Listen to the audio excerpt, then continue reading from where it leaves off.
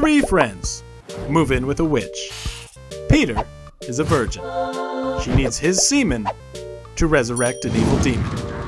Three guys and a witch.